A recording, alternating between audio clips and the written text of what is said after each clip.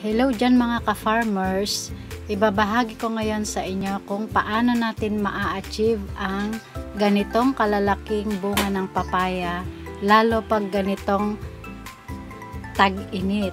Kasi minsan hindi natin mapapalaki ng maayos ang mga papaya kapag mainit ang panahon. So may sikreto po dyan mga ka-farmers. Ituturo ko sa inyo kung paano ko nagawang ganito kalalaki ang bunga ng aking papaya. Deep in the shadows, I know it's hard to put one foot in front of the other. Ah, so far as the echo, where do we start? You can learn to discover a million stars. Here in the shadows, I know you're scared.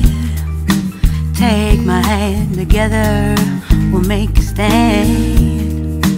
We've got to fight to find a way. Dare to fall to find out what to say. Ito mga ka-farmers ay tuyong dumi ng kambing. May alaga din kasi kaming kambing. Kaya ang ginagawa ko, pinapile ko yung mga dumi nila sa isang lugar.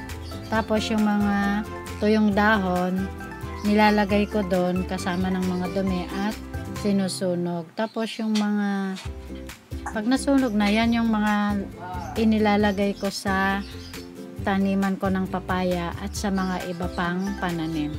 Ang dumi kasi ng kambing guys ay maganda para sa mga tanim kasi parang tuyong lupa lang din kapag natuyo yan. Tapos gagawa lang ng hukay ng mga 1 meter at lalagyan siya ng mga lupa. Diyan ko nilalagay, tinanim yung papaya.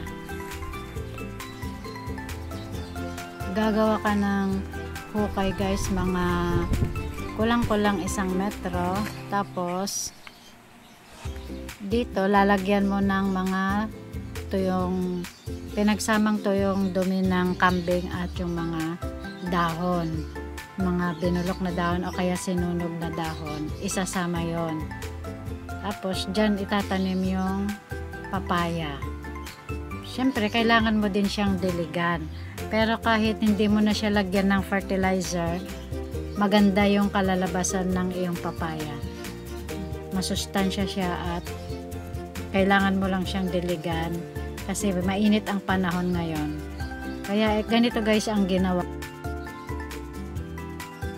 So, ganyan lang mga ka-farmers ang sekreto para kahit sa ganitong kainit ng panahon ay maganda pa rin ang bunga ng ating mga papaya.